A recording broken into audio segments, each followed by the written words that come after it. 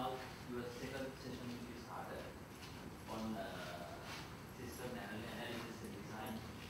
This is uh, Mr. Kapil Dias, the senior lecturer at uh, UCSC, and also he is the course coordinator, main course coordinator of this subject.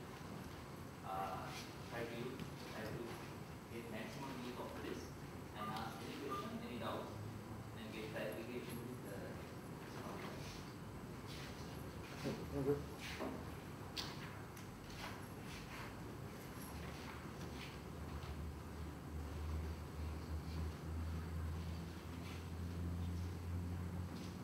This is what I told you, the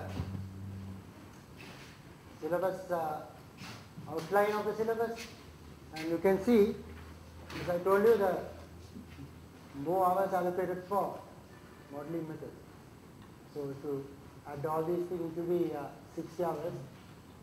So uh, the questions uh, will be uh, set proportionately according to this number of hours. So you get more questions on the modeling method section. Right, so let's start with a question.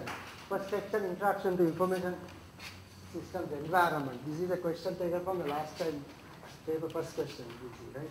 The information system that captures and reproduces the knowledge of an expert problem solver or decision maker and simulate the thinking of that expert is called. So you have to identify this uh, the type of the information system, right? So uh, let's uh, recall uh, the types of information systems before I uh, give you the answer. So these are the types uh, uh, described in the, uh, the recommended textbook, right? So you have transaction processing system, where the main uh, focus is the transaction processing. Then you have management information system, it is uh, system that is uh, provided for the management. Then uh, decision support system, where it will support uh, making decisions, right?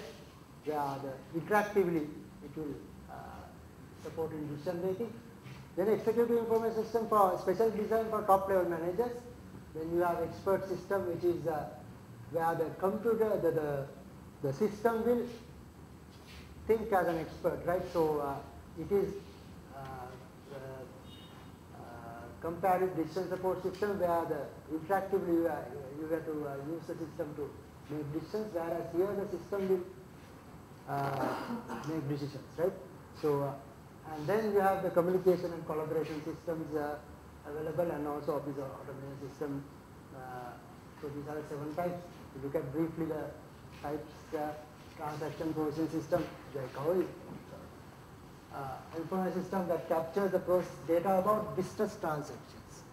So the main focus is business. And remember that if you take a uh, information system, any information system, it can fall into several of these categories, right?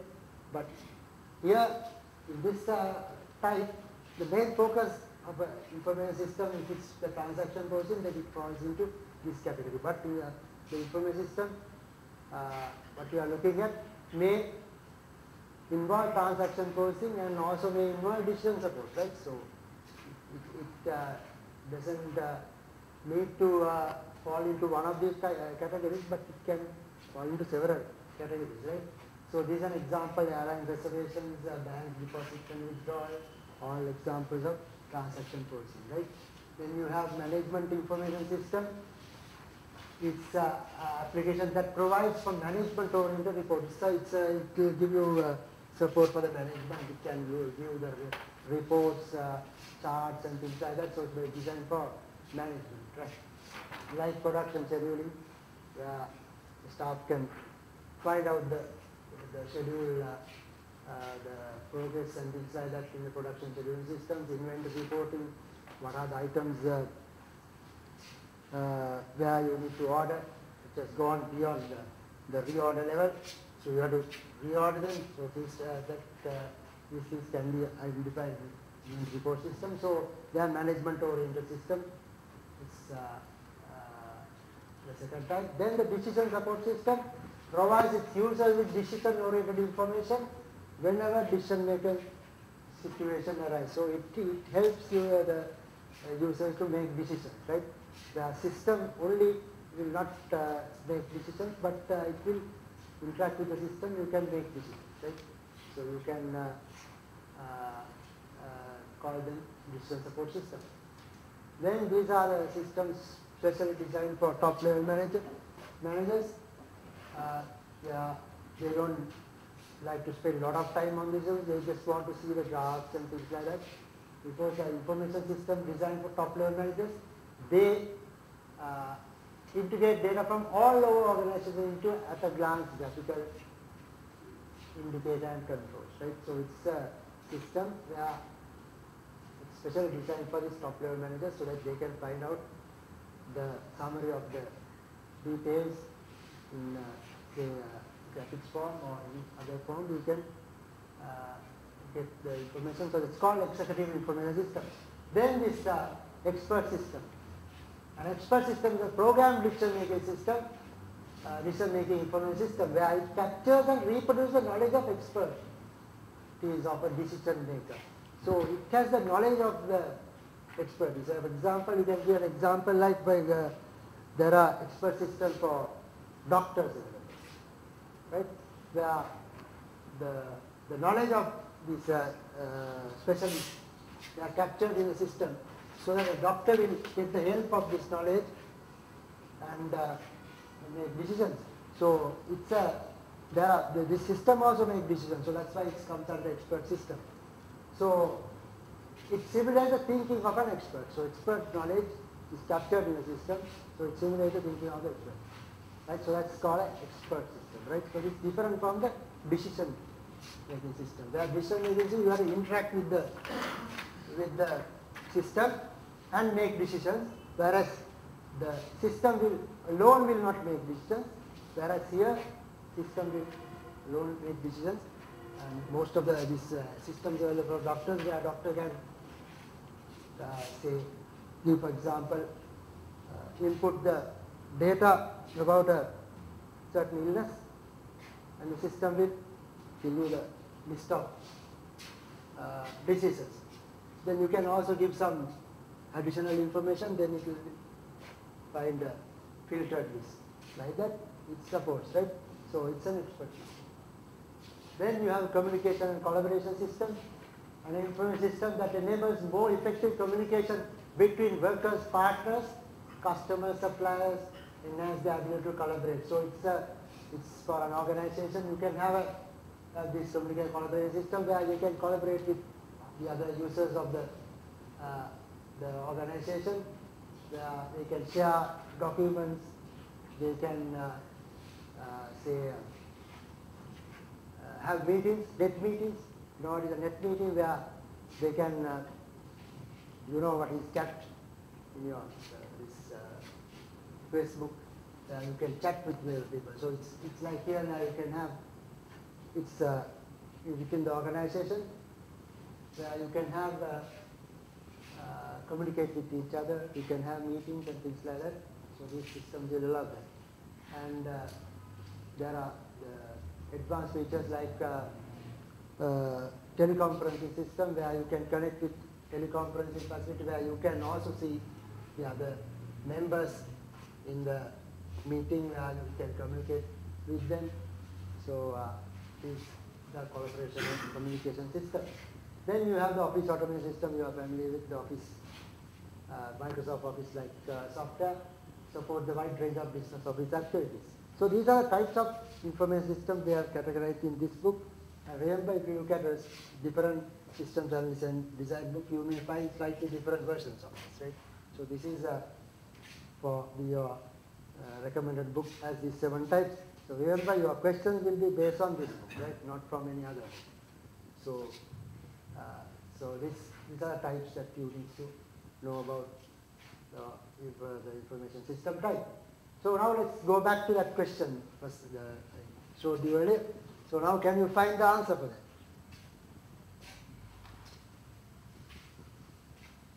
And this, uh, uh, it's very important that you go through at least the last five, five years papers because this uh, uh, the questions sometimes uh, very similar questions you get for your exam because now if you, we don't look at the last papers when we set the papers, but we look at the textbook, the, the page, pages given. So within that uh, pa- pages we set the paper. So you, you may get uh, very similar questions coming, right? So you have to go through the past papers, very important, last five past papers. Just go through it before the exam and uh, then uh, you can get an idea of the different questions, type of questions that you expect, right? So uh, this is uh, about the information system. What it says, is the, cap- uh, the information system that captures and reproduces uh, the knowledge of an expert, problem solver, or decision maker, and similarly the thinking of that expert. So what is the best uh, answer?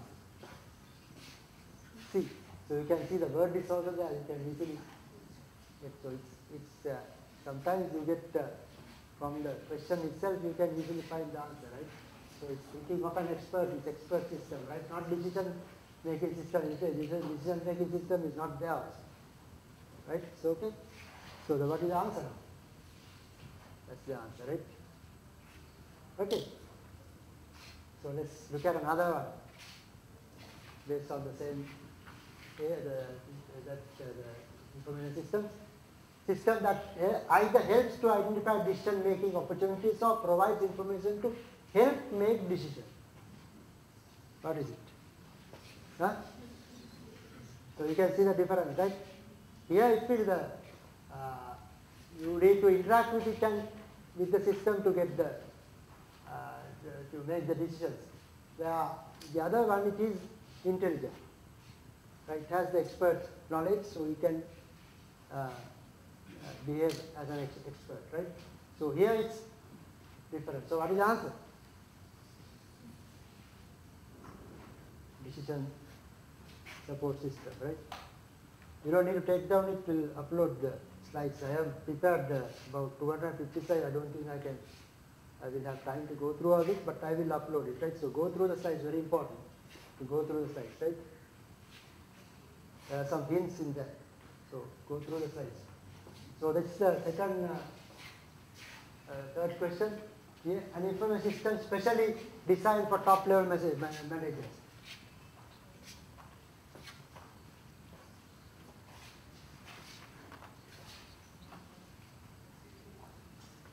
Top level managers. Which one? Good. Executive information system, specially designed for top level, right?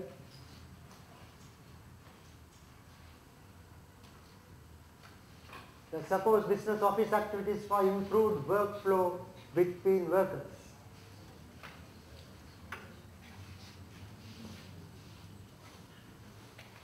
Business office activities.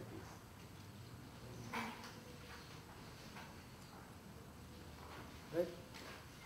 You can see from the word itself you should be able to identify answer, right? Okay. Some are taken from 2010, some I have just given, right?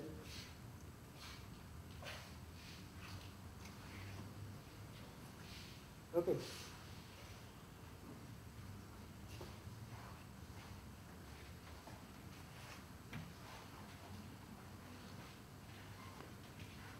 Which of the following is uh, correct about stakeholders of an information system? It is also taken from 2012. System analyst is a stakeholder who bridges the communication gap between those who need computer-based business solutions and those who understand information technology.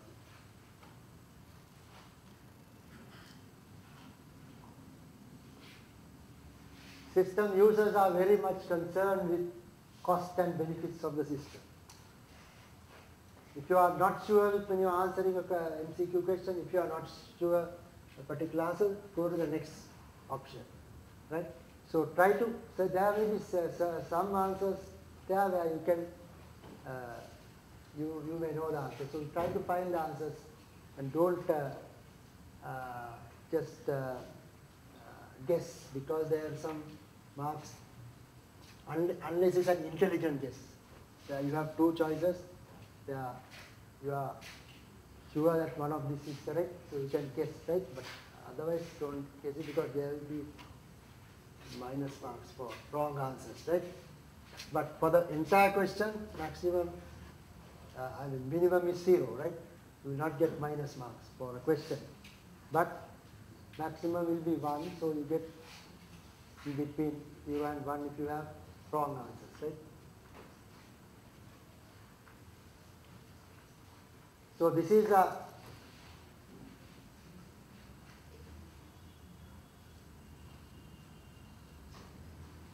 users are not uh, easy answer to omit, right? Easy, easy option to omit where you can see system users are very much concerned with cost and. They are not concerned with cost and. And system analysis specialists who translate system users business requirements and constraints into technical solutions. Are they involved in technical uh, solution or so how who what are the who are the stakeholders? Right? Users, owners, analysts, designer, system builder. Okay, so you have to identify the task of these people, right? So uh, system analysts will not involve with the technical side. Okay. And then the database administration specialist the database technology who designs and coordinates changes to corporate databases.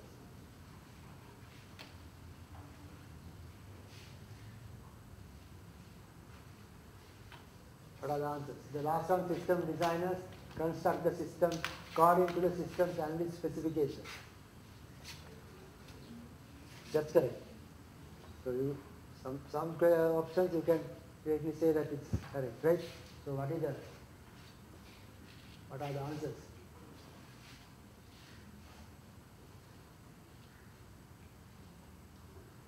Sorry.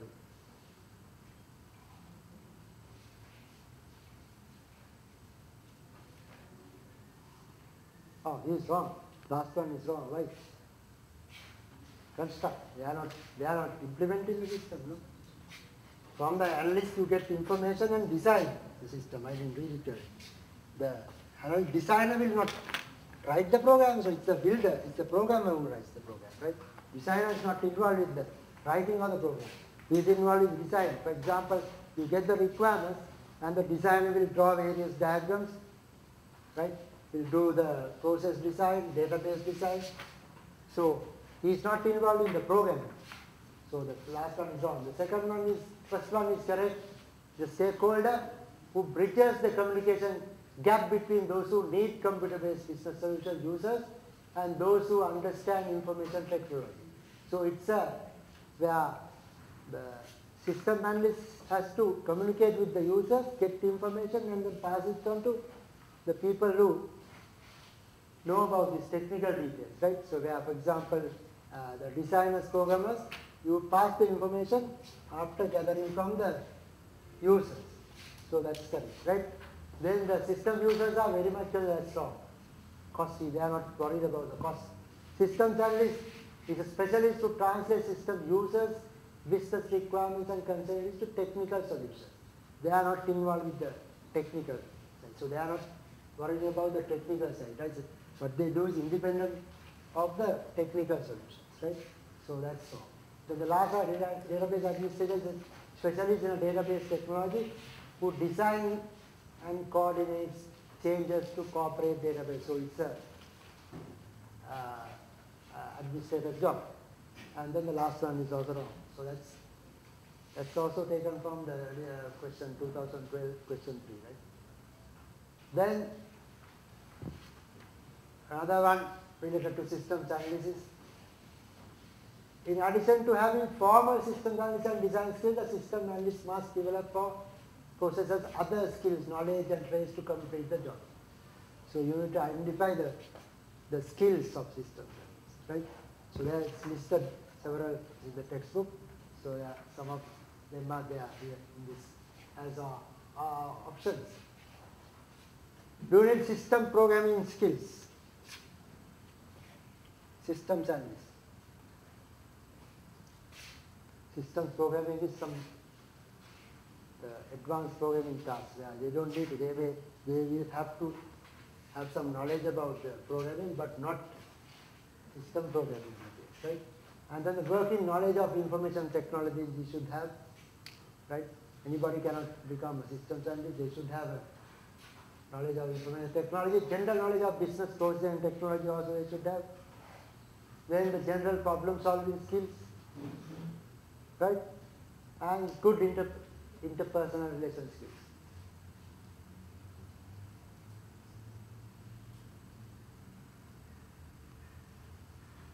Except for the first one, all the other answers are correct, right? Okay.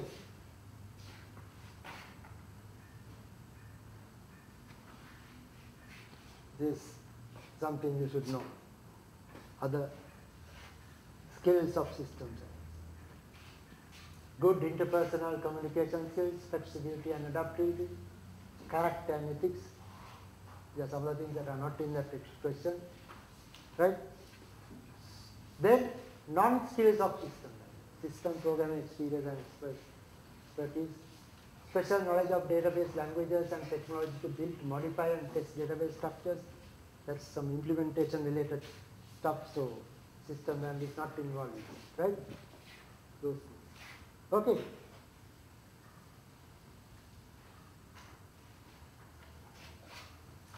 Any questions to that?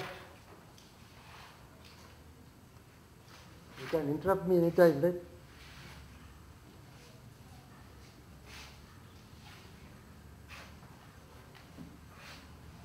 See, all these questions are from the first uh, chapter, information, introduction to information system environment, right? There's another one. File server architecture, client server architecture, internet-based architecture, which of the above distributed are distributed information system are distributed architecture.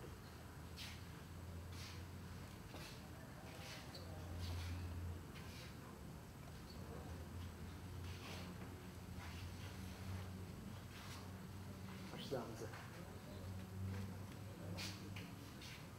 E. Somebody said E. All. All correct? Ah, sorry. I, I, have, I will just go through the thing so that you can get find the answer, right? The distributed system moves information and services closer to customers that need it. So you have several customers at various places. So the system is distributed, so you can access the system from any place. You can share the data, processing. Uh, so the, these file, there are three, types, file server architecture, the client server, and then the internet base, right? Uh, the file server architecture is a, a LAN, now local area network uh, based solution. A server computer hosts only the data layer is there in the server and all the other layers are integrated on the client PC. So we have server client PC, data layer is in the server, other layers are implemented on the client PC. And practical only for small database applications shared by relatively few users. So that's file server, right? So that's also a distributed system architecture, right? Then the uh, client server. There are several servers where users, the presentation, presentation logic, application logic, data manipulation, data layers are distributed between client PCs and one or more servers. You can see several servers, several client PCs. So that's client server architecture. Then the improved version, this is client server architecture, thin and fat clients where thin is where you have uh, uh, acts only as a terminal, client, fat client, uh, all, all PCs fall into that category. So this internet based presentation precision logic layers are implemented in a client server web browser and the presentation logic layer then connects to the application logic layer that runs on the application server. So you have application server which runs the uh, runs it and subsequently connect to the database server. So that's internet based and is a sample where so you can see that this answer here is E. All are correct, right? All distributed system are correct.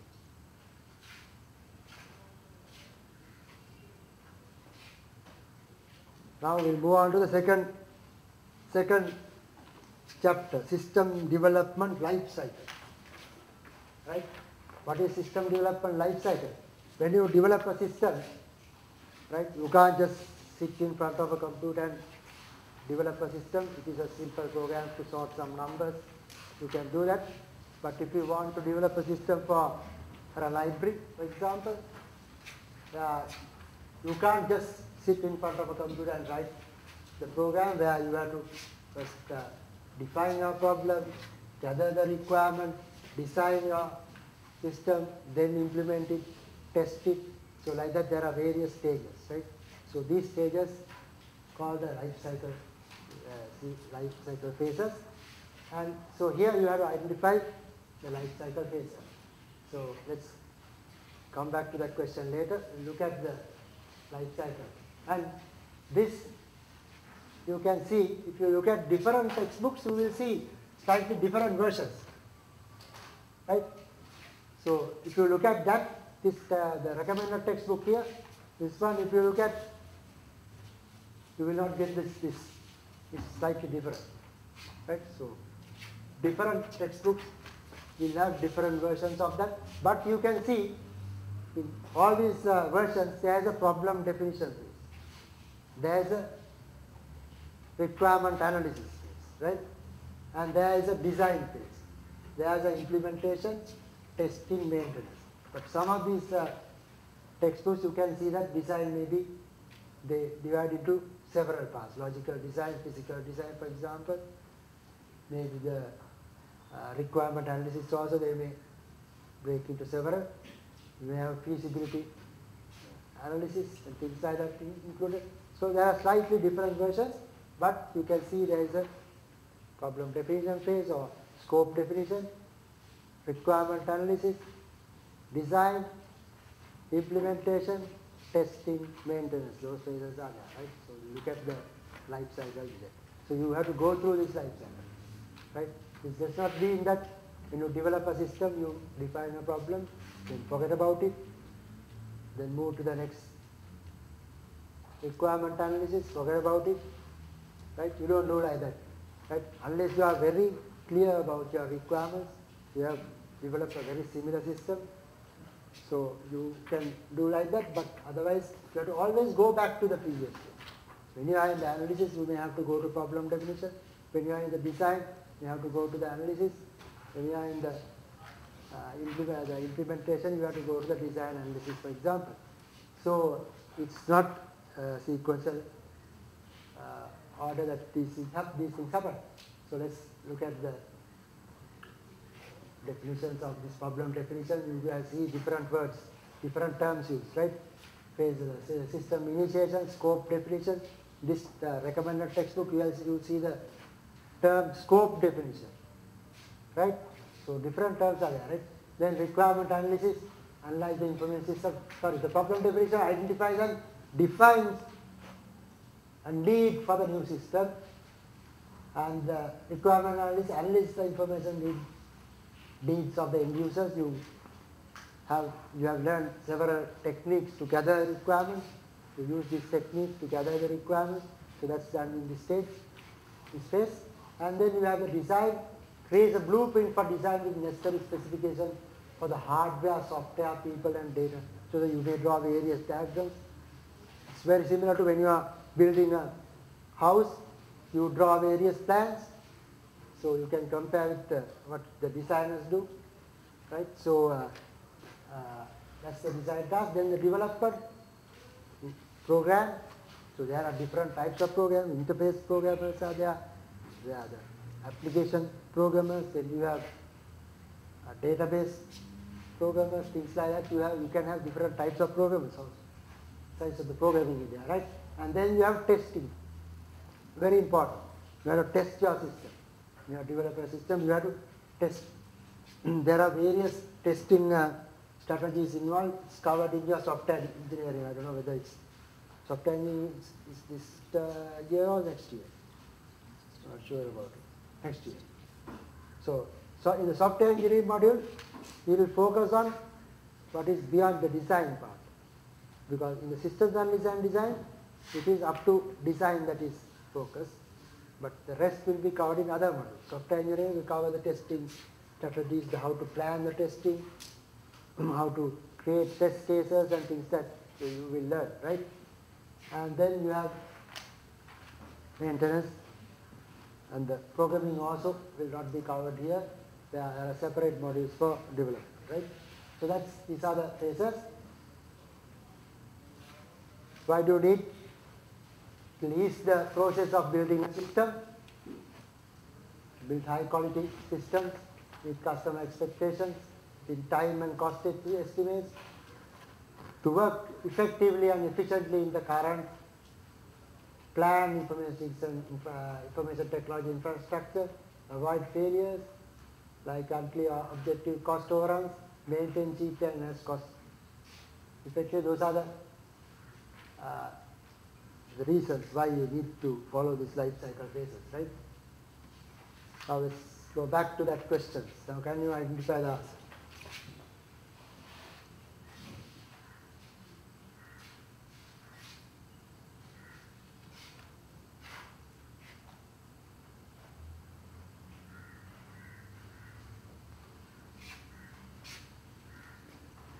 You see the problem definition, scope definition, all these uh, synonyms where you can see first, second one is correct, right? This one, construction, what is construction? System construction, programming, right? So the implementation, other term given, right? So uh, that's also correct. Then design system design is also correct. Requirement analysis is correct. Except for this one, rest all the others are. Project management throughout the life cycle happens, right? Not a particular phase in the life cycle, right? Okay.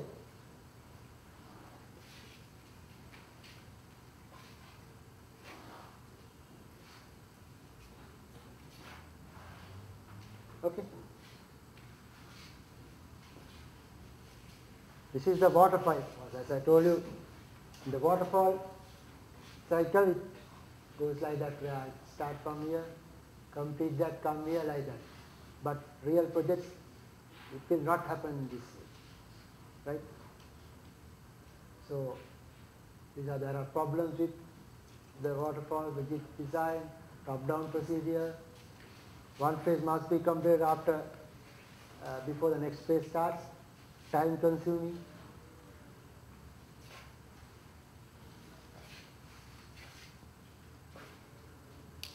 Criticism falls into the following categories. Most, at the beginning of most projects, there is often a great deal of uncertainty about requirements and goals. Difficult for the customers to identify the requirement on a detailed level.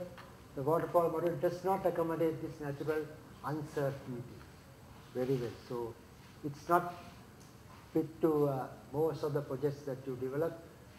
So you, you cannot go through these life cycle phases like that, right? So there are modified versions. There are modified versions. There you should be able to go back to other phases, right? So you can see that path is provided where you can you should be able to go back to all these phases, right? So that's uh, modified version.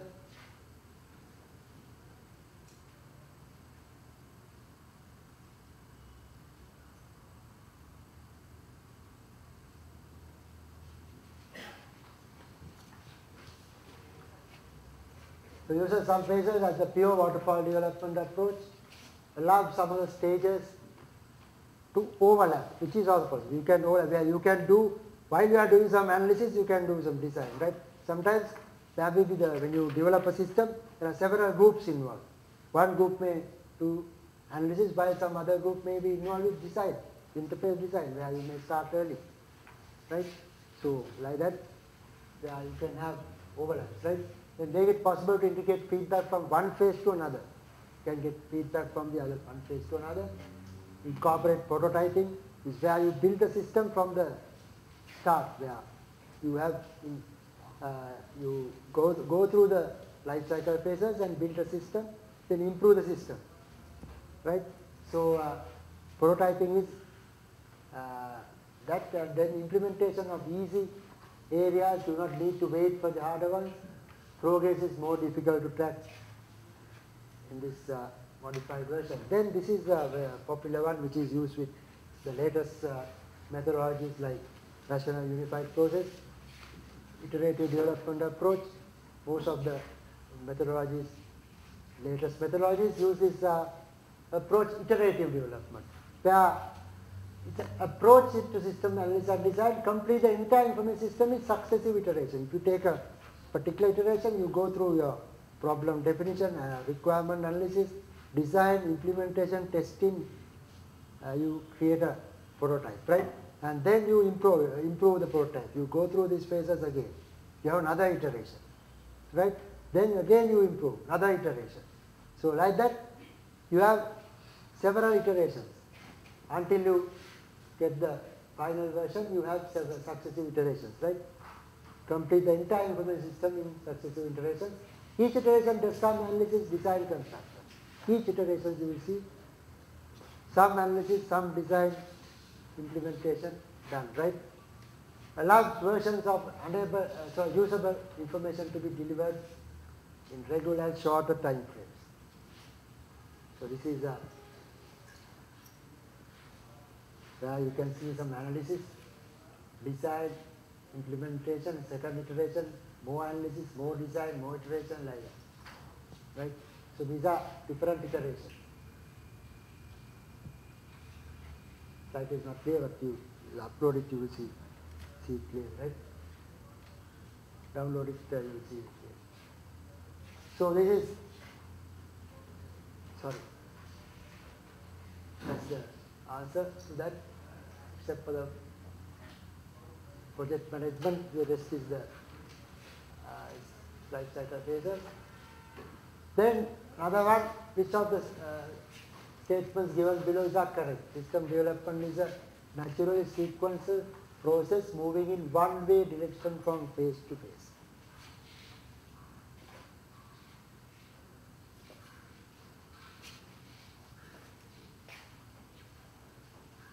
correct or wrong.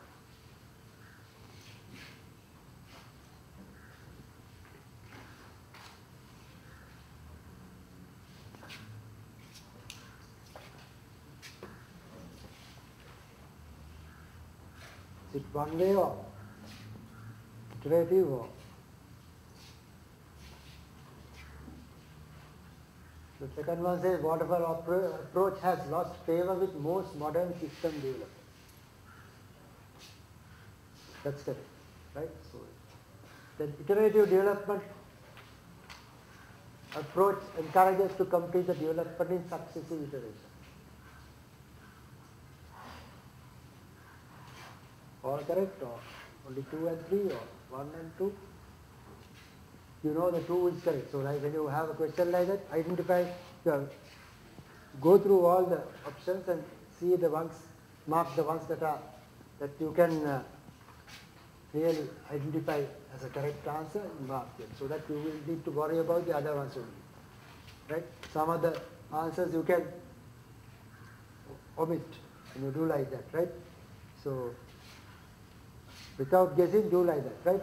So try to find the correct answers, mark them, then look at the other answers and see whether they are correct or not, right? So what is the correct answer?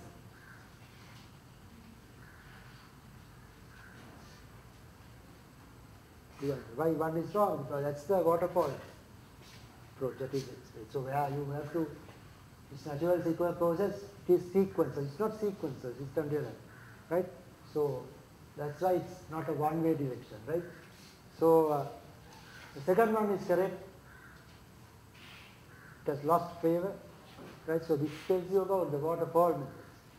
Then iterative development approach encourages to complete development in successive iterations. You have several iterations, you complete system, right? So each iteration you go through analysis, design, implementation, then you come to next iteration, again more analysis, more design, more implementation, like that you develop the system, right? Okay, that's also good. Two and three iterations, right? Is it clear?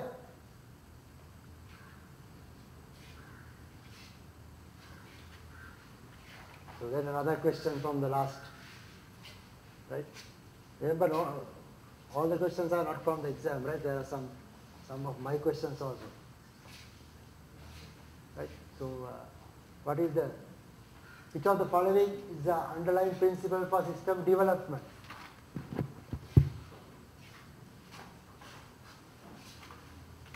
You look at uh, the textbook, how many there are 10 principles, right? Let's go through the slides and then come back to that question. If you take, look at the major components of a system development, there should be a methodology.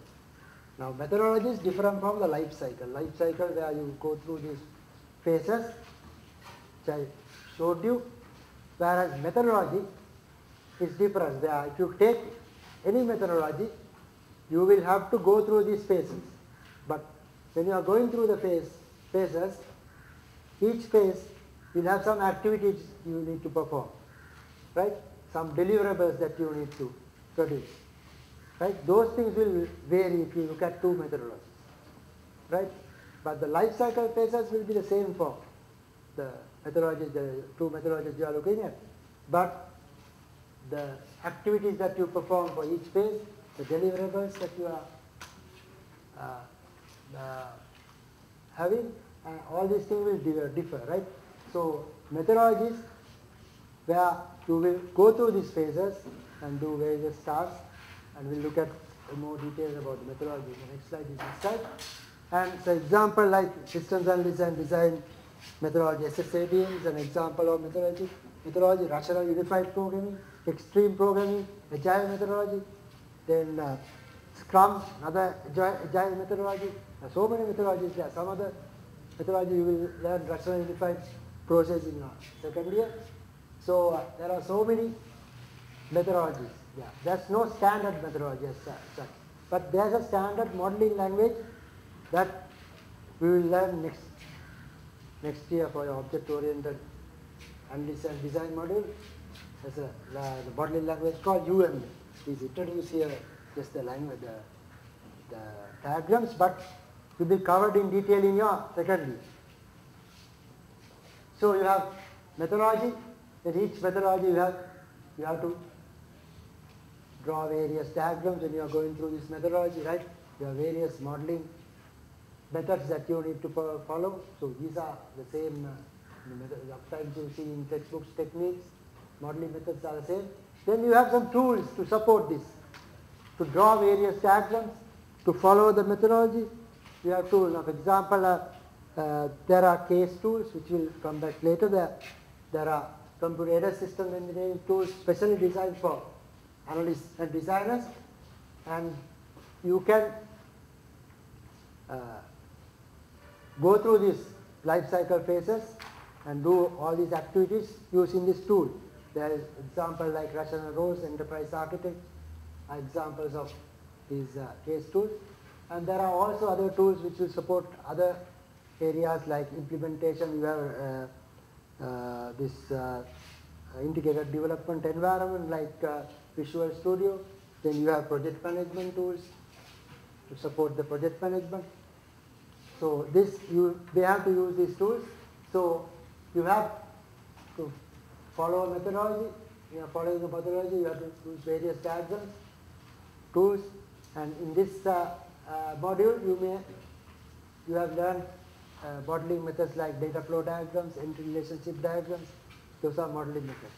In your second year, object-oriented analysis and design, you will learn more modeling methods those are UML modeling methods you will learn. right? So these are the three major components of system development. Methodology, a very formal and precise system development process that defines a set of activities, methods, best practices, deliverables, automated tools, right? All these uh, you have you may when you are following the methodology, you will have to perform certain activities. The methods are there, best practices are there, deliverables are there, automated tools you may use, used by stakeholders to develop and continually, uh, continuously improve information systems and software.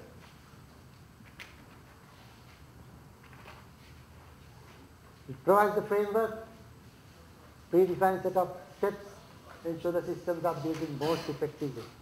SSADM, Rational Unified Process, rough examples of system development methodology. Then you have system methodology, you have to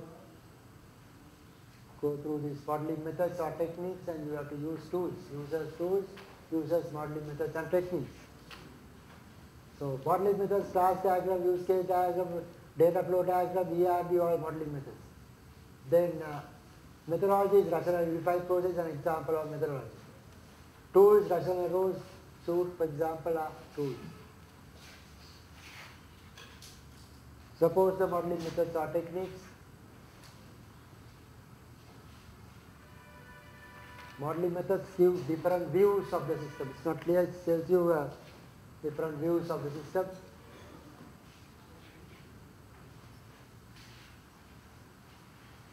Data flow diagram, a process model, where it gives you a example, a process model where it will tell you about the pro, the, the functionalities, what are the main functionalities in your system.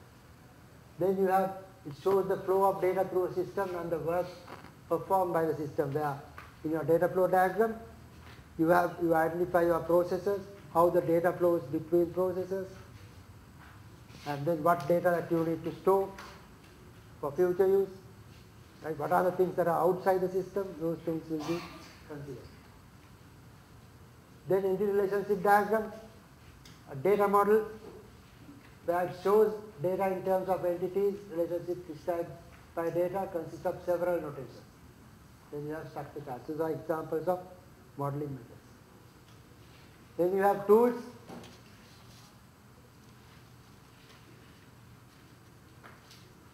Are there to support this, to follow the methodology, to draw various diagrams. Tools are there, right?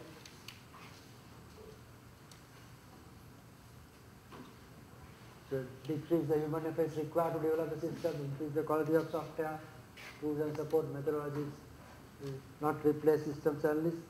Where it is not, it is they are to help the analysts, not to replace their jobs, but uh, it will help them to do a better job, these tools, right? So there are tools available which will support the entire life cycle phases. There are some tools available for development, some tools available for design, some throughout the entire the life cycle it will support like case tools, right?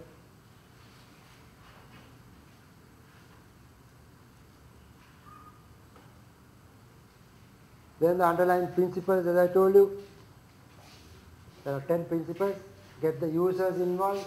First principle is says when you uh, develop, are following the methodology, get the system user involved. to minimize the miscommunication, misunderstanding, helps to win acceptance of new ideas and technologies, change. So this the first one. Then we have user, user problem solving approach. I will not go through in detail, but you can uh, later go through this uh, slide. So these are different uh, these uh, uh, principles you to follow. And then uh, you have, you establish phases and activities, scope definition, these are the phases. You have to follow these things. Then you, you document through the development, another important principle. You establish standards, documentation standards are there, quality standards. Then you have to manage the process, there is process management tools, project management tools available to support this. This is, uh, uh, yeah, the same thing, project management and process management and then you have justify systems as capital uh, investment like cost effectiveness, cost benefit analysis you have to do. Then you should not be afraid to cancel or revise scope. Sometimes when you are at a particular stage of the development, you may want to uh, cancel the the project due to uh, some reason. When you are doing a feasibility test, you find that it is uh, not worth continuing this. So you should be able to cancel it, not be afraid to cancel. Otherwise, you may have to spend more uh, uh, money for that, the project unnecessarily. So if the project budget and the schedule are frozen and not, not sufficient to cover all project objectives, reduce the scope. So these things very important. Then you have divide and conquer where you divide the system into subsystem components and then separately handle the subsystems and components. Easy to conquer the problem, easy to build large systems. Then you have to design the system for growth and change. You have to look at and see what are the changes that you will need to do in the future and they, for that you have to design the system so that you don't need to do a lot of modification when you come to that stage. So those are the 10 principles. So it's asking whether the, what is given in the, as answers are these principles or not. So what are the correct answers?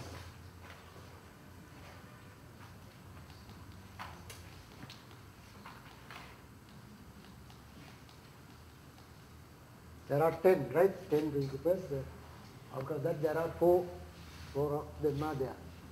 Yeah, Identify the 4.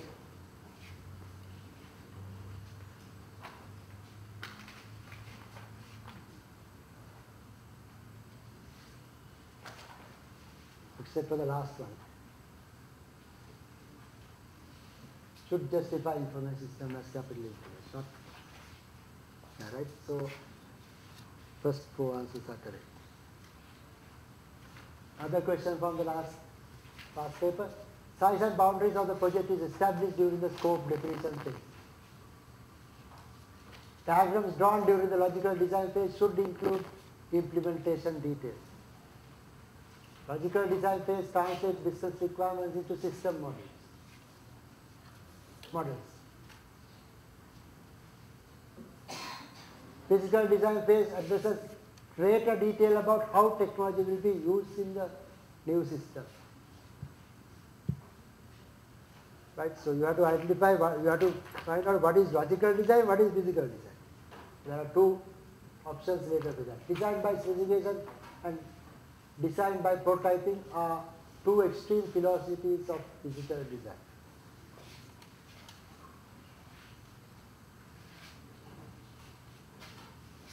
So what is logical design? Logical design, you don't look at the implementation details. The logical design is independent from the implementation. Physical design, you add the implementation. So you have learned uh, uh, data flow diagram, logical data flow diagram. Now you don't have the implementation related. Physical data, data flow diagrams, when you convert this logical data flow diagram into physical data flow diagram, you will see several uh, new processes added, new data stores added right? So physical data flow diagrams focus on the implementation details. So uh, what are the correct answers? Except for the second one.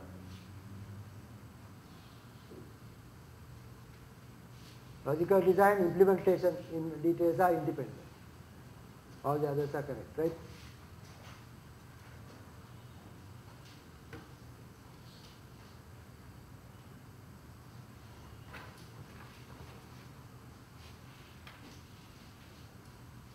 First phase of typical project is the scope definition phase. Boundaries of the project are identified during this phase. Estimation the cost involved can be done accurately. Can you do accurately cost estimation in your problem definition phase without gathering the requirement. So it's a obvious wrong answer here. So the parti- participants in the scope definition phase finally include system designers. Are they involved in the definition phase? The following is a typical question needs to be answered during this stage. It's a problem worth looking at. So the initial stage, it's, it's, a, it's important. We have to find out whether it's worth looking at. So what are the answers? And D are wrong, right? First one is correct because it's uh, the first phase of the life cycle. The so, so definition, boundaries of the project are identified during this phase. You look at the what are things that are outside the system, what are things that you need to include in the system. So when you draw the data flow diagram, you have the external entities which are outside the system, right? So uh, that's uh, the correct. Then the third one is wrong, you cannot estimate very early accurately. And participants in the scope definition phase primarily include system designers and system builders, which is also wrong. They are not involved in the early stage. The following is a typical question need to be answered, which is correct, the problem is worth looking at. You have to uh, see this uh, uh, the problem definition stage, whether it's worth looking at. Then another one related to this uh, requirement analysis. It is not the first phase. First phase is problem definition. Defines and prioritize the business requirement. During the, this phase, the analyst approaches users to find out uh, what they need or what want out of the new system. Carefully avoiding any discussion of technology or technical. Correct or not? Requirement analysis, uh, you try to gather the requirement from the users. No implementation related details. Errors and omissions in requirement analysis in user dissatisfaction with the final system and costly modifications.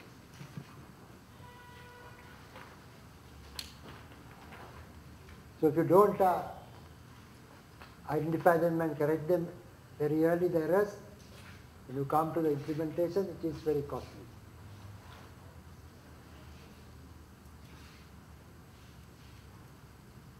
That during the uh, this phase, analyst will find out what the system must do and how it should do these things. How it should do those things is not important for this section. It is the design where you look at how you are going to develop.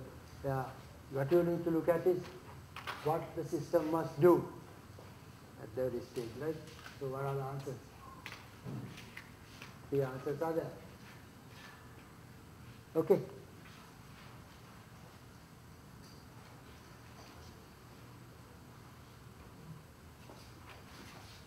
Any questions? You are not asking questions.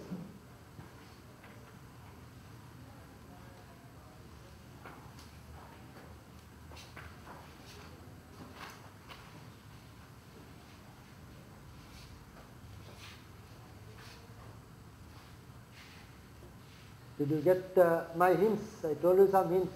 Should be able to find out the hints. Right? Go through the slides uh, after we upload upload it. Download it and go through the slides. Very important, right? Before the exam, go through the slides. Right? Then after the exam, you will realize what I told you. Technical pictorial representation that shows what a system is or does and how the system is implemented is called what a system is or does and how the system is implemented. So it is logical or physical?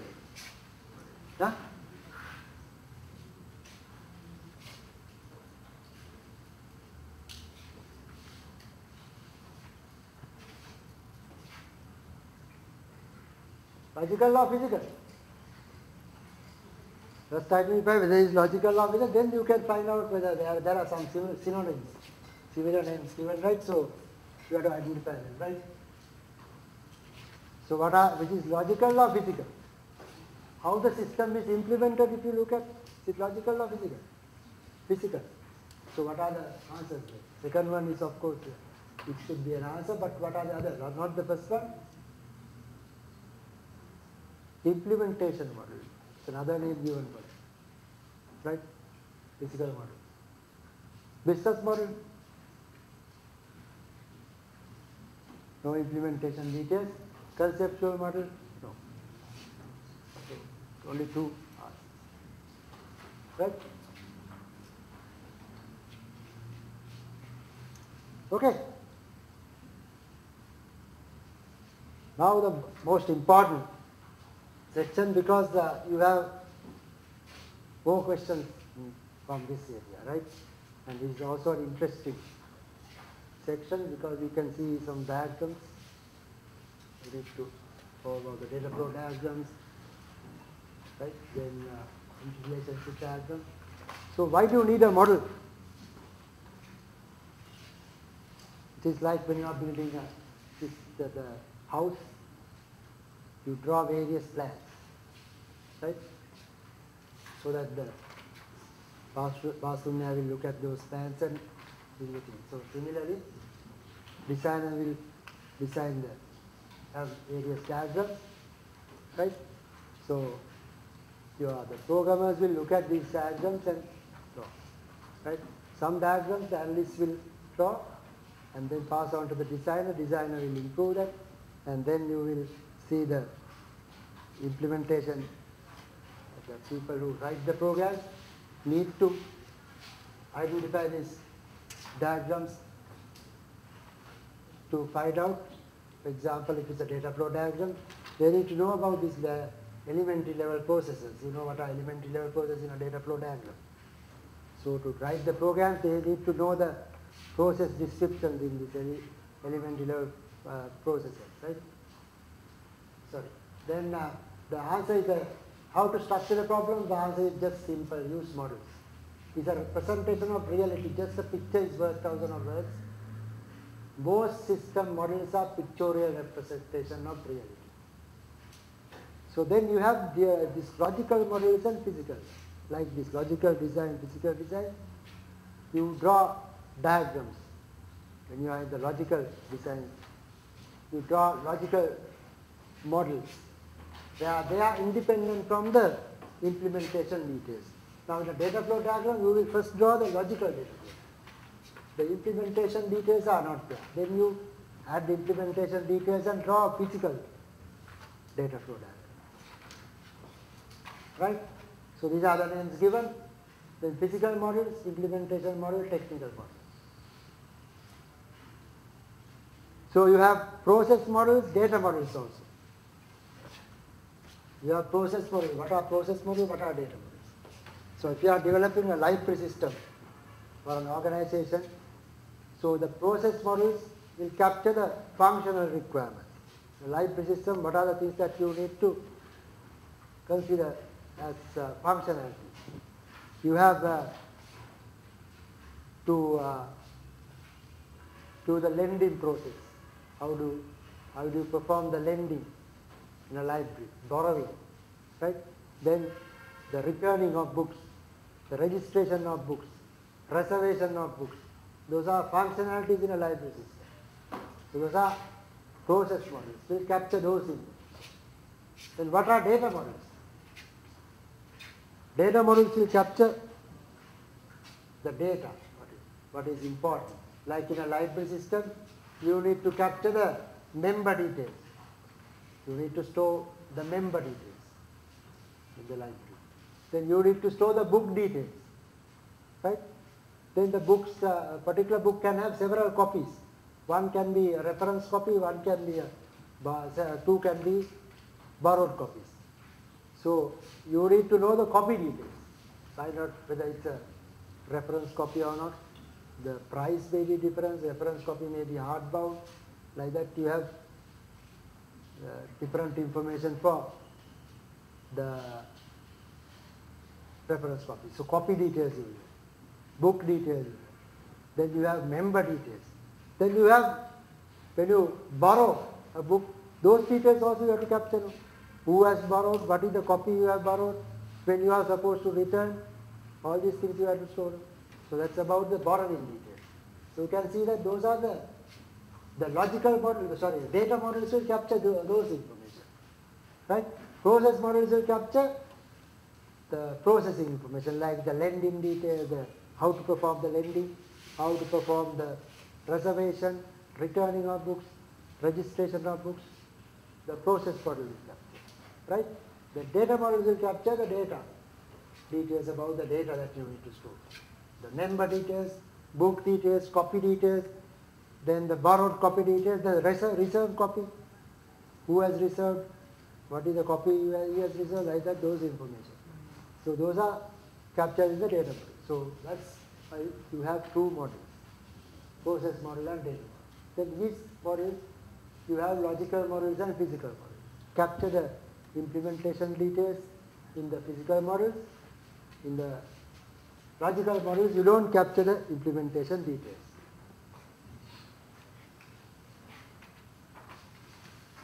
So the process modeling techniques, data flow diagram is an example of a process modeling technique, where you capture the processes and draw these data flow diagrams. Shows the data through the system and the processing performed by the system.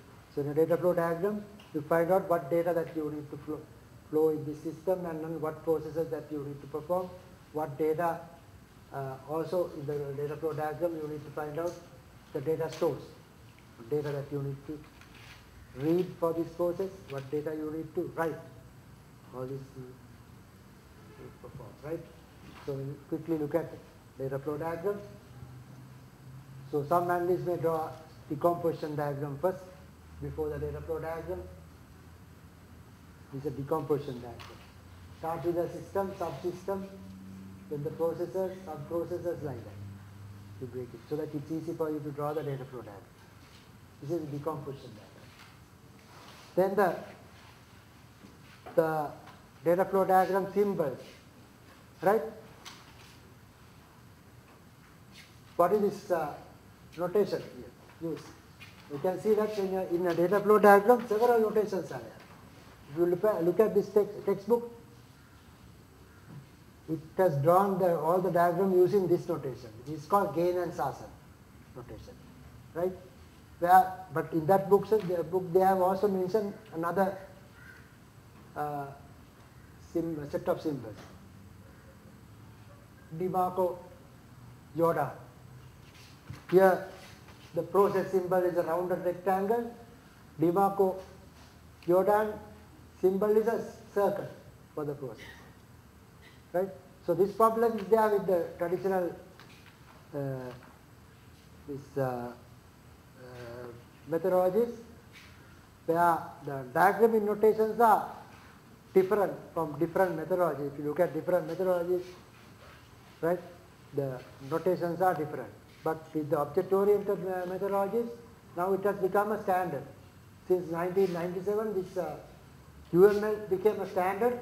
So any methodology, object-oriented methodology, will use the same set of UML diagrams.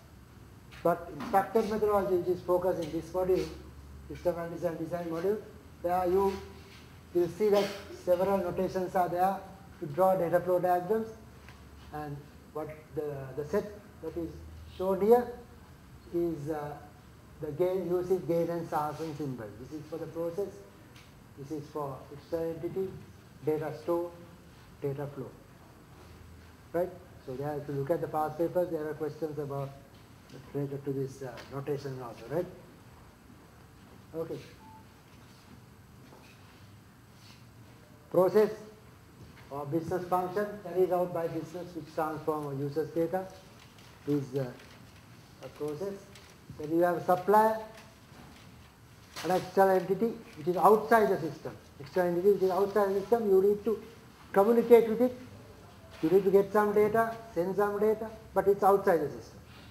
So that's why it's called an external right? Where the you don't need to uh, look at the processes in these external entities, they are outside the system, right? For example, supplier, the the processes involved with the suppliers, you don't need to worry. You need to only get information from the supplier and supply information to the supplier, right? So that's uh, uh, external entity which is outside the system, the model sometimes called source or sink. This is the data store. This is the Gane and Sarson symbol where you have these two lines, the symbol is there. Data address, files, complex data capture or set of data. So the data flow diagram, data store is represented in Gane and Sarson like that. This is data flow. This is the context diagram. Now, then when you draw the data flow diagram, first you draw the context diagram. You can see with the context diagram, only one process is there and the external entities are there. So it will show how the system will interact with the external entities. So what happens inside the system is not important for this context diagram. But it needs to find out what are the things that are outside the system that you need to communicate with. Those are external entities. So it's an example of order processing system where you have you send the order to the supplier, send an invoice, supplier will send an invoice, then the supplier also sends a delivery note with the goods.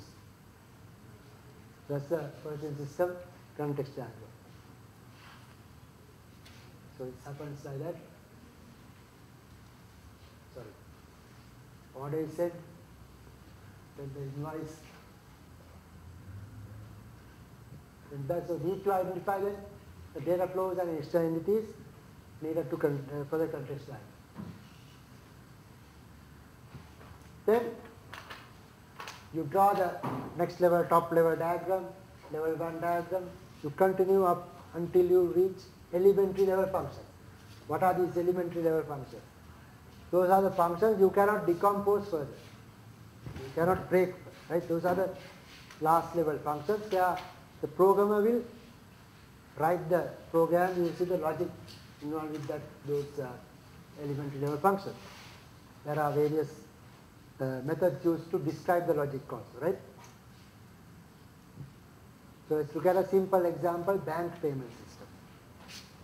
Bank payment system, consider a system in a bank whereby account holder gets their withdrawals affected. Whenever an account holder wants to withdraw some cash, he presents a check or withdrawal slip. So only the, those parts will be uh, considered for example to make it simple. So here you have the check or withdrawal details are sent to the bank, then the withdrawal acknowledgement sent back. So this is a context diagram. You can see no data stores involved, only the external entities and the main process is there. Main process is there and then external. So you get the, you uh, produce the check and the withdrawal details and then it will process it and send the withdrawal acknowledgement. That's the context. So then the next step is to break this into manageable components. Right? So that's how you draw the data flow diagram. You break that into manageable components. How do you break it? Break it, decompose it, right? We call it decompose. The act of breaking the system into component, subsystem, processors and sub-processors. Top level function is then decomposed to its component function. So this is your main uh, the process and then you have these uh, processes. Verify account balance, debit withdrawal balance. Right? So you have uh, this check withdrawal details are set and then inside that you need to verify the balance and also there's another process which will debit the withdrawal balance. So now you have to see how you are going to connect this into your data flow. Right?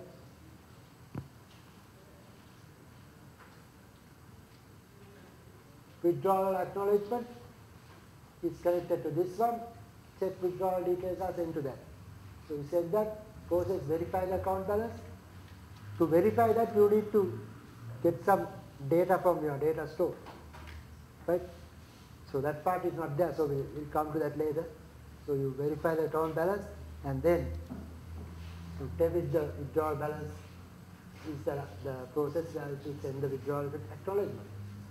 So then you need to identify these data stores where you need to store the data, account details. You have to verify the balance, you need the account details. Then you have verify, get, get uh, sorry, current balance you have to get from the verify account, uh, sorry, account master. account mask from that you need to get the current balance to verify the account. Then there's another one, verify details should be sent to the debit withdrawal balance. So those are the data flows. Then the due balance is stored in the account master. So if you look at the data flow diagram will look like that. Right? So you have the first sorry uh, this uh, check withdrawal details sent to this process, verify to verify the account balance you need to get uh, details from the account uh, master and then verified details you send to this process then it will update the new balance and then the withdrawal. So that's how it works, right? It's a simple data flow diagram. In a data flow diagram you have to omit these things. External entity to external entity meaningless to have a flow, data flow. Meaningless to have a data flow between external entity and a data store also, it has to go through a process. Data store to data store also, it has to go through a process, right? You can't directly go. Process is, is read only if you have only an input flow like that. Go back to this uh, question, find out the answer. Technique used to organize and document the system data. System data. System data or processes? Processes. Context diagram is a special type of process model that illustrates the communication focus from the system owners and system users perspective. DFDs are used to identify the physical movements of the document.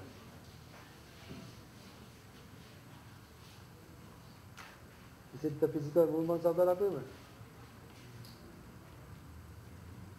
There's another diagram called document flow diagram which will test these physical movements of the document. It's a process modeling technique used in UML it is object oriented modeling uh, language so it is shown it's not there in UML. Logical models allow us to communicate with end users with non-technical or less technical knowledge. Right? So technical details are not there, right? So what are the answers?